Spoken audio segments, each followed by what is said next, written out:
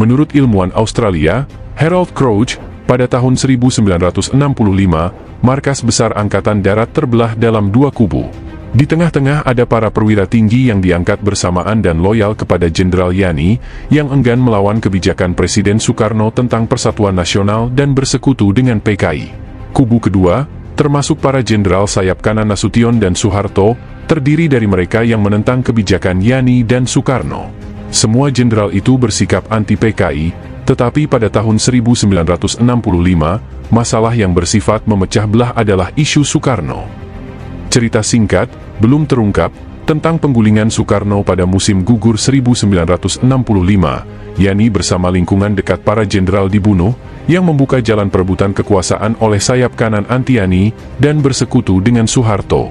Kuncinya adalah, apa yang dinamakan percobaan perebutan kekuasaan oleh Gestapo, yang pada lahirnya bersikap mendukung Soekarno, namun sebenarnya menjadikan anggota pimpinan Angkatan Darat sebagai sasaran, fraksi yang paling taat dan setia mendukung Soekarno, yaitu kelompok Yani.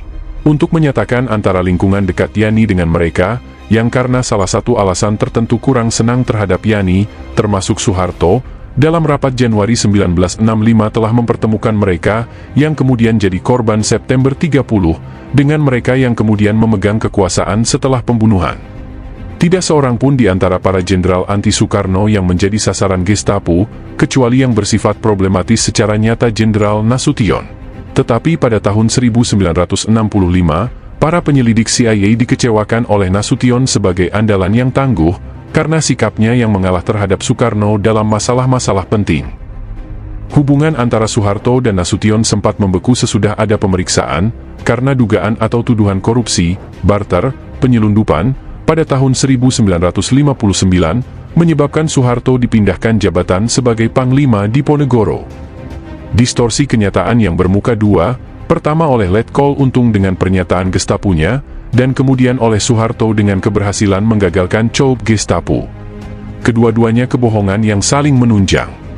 Pada 1 Oktober, Untung mengumumkan secara mendua bahwa Soekarno dalam perlindungan Gestapo, padahal tidak. Selain itu, Dewan Jenderal yang didukung oleh CIA telah merencanakan Coop sebelum 5 Oktober, dan untuk itu didatangkan pasukan dari Jawa Tengah, Jawa Timur dan Jawa Barat ke Jakarta. Memang, Pasukan ini didatangkan ke Jakarta dalam rangka turut serta parade pada perayaan Hari ABRI tanggal 5 Oktober. Namun, Untung tidak menyebut bahwa dirinya sendiri juga terlibat dalam perencanaan parade Hari ABRI, dan memilih kesatuan yang akan diikut sertakan. Selain itu, Untung tidak menyebut bahwa kesatuan-kesatuan, termasuk bekas batalionnya, yaitu Yonif 454 itu, membekali sebagian besar sekutu-sekutunya untuk batalion barunya, dalam kegiatan Gestapo di Jakarta. Dua pengumuman Soeharto yang disiarkan RRI masih mempertegas bahwa Angkatan Darat tetap setia kepada Bung Karno, pemimpin besar revolusi, dan mengutuk pembunuhan enam jenderal oleh pemuda rakyat dan Gerwani, serta unsur-unsur Aweri tanpa adanya bukti, kecuali lokasi terjadinya pembunuhan dan sumur tempat membenamkan mayat ditemukan, yang berada di wilayah Halim. Padahal ketika itu, Soeharto tahu benar, bahwa pembunuhan enam jenderal itu justru sebenarnya dilaksanakan oleh unsur-unsur pasukan yang mempunyai hubungan dengan untung, unsur-unsur di bawah pimpinan Soeharto sendiri.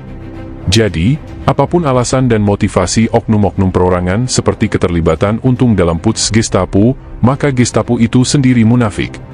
Baik retorika, lebih-lebih lagi tindakannya tidak hanya sekedar tidak pada tempatnya, janggal, tetapi dirancang dengan seksama untuk mempersiapkan respon Soeharto yang sama munafiknya.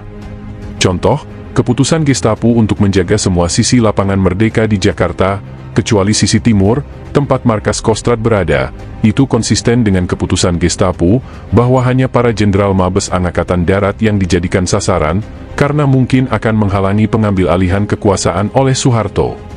Sekali lagi, Gestapo mengumumkan alih kekuasaan kepada Dewan Revolusi yang sama sekali fiktif tanpa mengikut sertakan Soekarno, pada gilirannya memberi peluang pada Soeharto dengan berpura-pura melindungi Soekarno, yang hakikatnya mencegah Soekarno kembali mengambil kendali pemerintahan. Lebih penting lagi, pembunuhan terhadap para jenderal secara serampangan di dekat lapangan udara tempat para pemuda melakukan latihan militer, memberi peluang kepada Soeharto menyelenggarakan manuver bergaya Goebbels. Tujuannya, mengalihkan kecurigaan terhadap pembunuhan oleh pasukan di bawah komandonya sendiri, yang ia ketahui melakukan penculikan, kepada AURI dan personal PKI, yang justru tidak tahu menahu tentang penculikan dan pembunuhan. Dari sumber Pro Soeharto, terutama kajian CIA tentang Gestapo yang diterbitkan tahun 1968, diketahui seberapa banyak pasukan yang terlibat dalam pemberontakan apa yang dinamakan Gestapo. Dan lebih penting lagi, bahwa di Jakarta maupun di Jawa Tengah, batalion-batalion itu-itu juga yang memberi perbekalan kepada kompi-kompi yang memberontak, juga digunakan untuk menumpuhkan para pemberontak. Dua per tiga dari pasukan Brigade Para, yang sehari sebelumnya diinspeksi oleh Soeharto, ditambah satu kompi dan satu peleton, merupakan kesatuan Gestapo di Jakarta. Semua kesatuan ini, kecuali satu, dipimpin oleh perwira divisi Diponegoro, baik yang masih berdinas di divisi maupun yang dipindahkan, dan dekat dengan Soeharto. Kesatuan terakhir dipimpin seorang perwira yang patuh kepada Basuki Rahmat, sekutu politik Soeharto. Dua dari kompi itu yang berasal dari Batalion Infanteri 454 dan Batalion Infanteri 530 adalah pasukan Riders pilihan elit dan sejak tahun 1962 menerima bantuan utama dari Amerika Serikat. Fakta itu sendiri tidaklah membuktikan apa-apa, namun meningkatkan kecurigaan dan keingintahuan tentang banyak perwira Gestapo yang memperoleh latihan di AS, pemimpin Gestapo Jawa Tengah, Suherman, ketika kembali dari pendidikan di Fort Leavenworth dan Okinawa pertengahan Agustus 1965, beberapa waktu sebelum ke Semarang, mengadakan pertemuan dengan Untung dan Mayor Sukirno, Komandan Batalion 454. Hasil pengamatan Ruth MCV, kalau Suherman dapat mengikuti pendidikan di Fort Leavenworth, berarti ia telah lulus seleksi pendirian khusus oleh pengamat CIA. Jadi ada kesinambungan antara hasil yang telah dicapai, baik oleh Gestapo, maupun responnya Soeharto. Ia berkedok membela Soekarno serta menyerang Gestapo, melanjutkan tugasnya mengeliminasi anggota markas besar Angkatan Darat yang pro-Yani, bersama-sama dengan unsur-unsur yang semula mendukung Yani, kemudian pendukung Soekarno yang masih tersisa. Tugas utamanya sudah tentu membinasakan PKI dan pendukungnya melalui pertumpahan darah, dan seperti diakui oleh sekutu-sekutu Soeharto, telah membawa korban lebih dari setengah juta jiwa manusia. Tiga peristiwa itu, Gestapo, respons Soeharto, dan pertumpahan darah, hampir selalu disajikan di negeri ini dengan motivasi yang terpisah-pisah, yaitu Gestapo digambarkan sebagai komplotannya PKI, dan pertumpahan darah sebagian besar merupakan tindakan masa rakyat, tidak masuk akal kegila-gilaan. Pejabat, wartawan, dan ilmuwan AS, yang beberapa di antaranya agak dekat hubungannya dengan CIA, mungkin menjadi pihak-pihak yang terutama bertanggung jawab atas mitos bahwa pertumpahan darah itu reaksi spontan massa yang bersikap membalik terhadap PKI, dan apa yang dikatakan oleh Duta Besar AS, Howard Jones, sebagai pembantaian besar-besaran terhadap PKI. Sekalipun PKI tentu mempunyai peran dalam munculnya histeria politik tahun 1965, namun catatan Jones tentang beberapa ratus korban teror PKI telah ditolak oleh Crouch, yang menyatakan kemudian, munculnya tuduhan bahwa PKI melakukan kampanye teror selalu dibesar-besarkan dan menyesatkan. Pada hakikatnya pembunuhan sistematik terjadi oleh pasukan tentara dalam tahapan yang mengerikan, dan paling buruk setelah Kolonel Sarwo Edi dan pasukan Repkat bergerak dari Jakarta ke Jawa Timur dan Jawa Tengah, dan akhirnya ke Bali.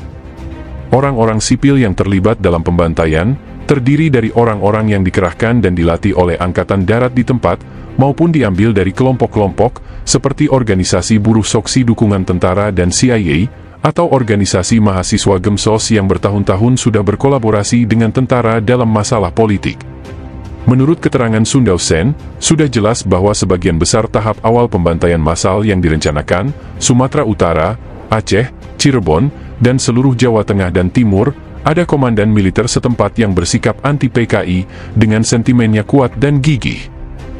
Banyak di antara komandan-komandan itu telah bertahun-tahun bekerja sama dengan orang-orang sipil melalui apa yang dinamakan program Civic Action yang disponsori oleh AS dalam operasi ditujukan melawan PKI dan kadang-kadang langsung melawan Soekarno.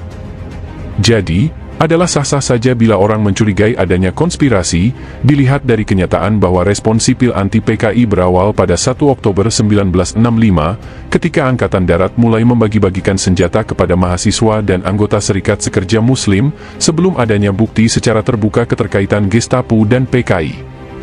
Bahkan Sun yang mengecilkan peran Angkatan Darat dalam mempersenjatai dan menghasut gerombolan sipil pembantai, menyimpulkan bahwa betapapun besar dan kuatnya kebencian dan ketakutan rakyat anti-PKI, tanpa adanya propaganda anti-PKI oleh militer, tidak akan terjadi pembantaian massal.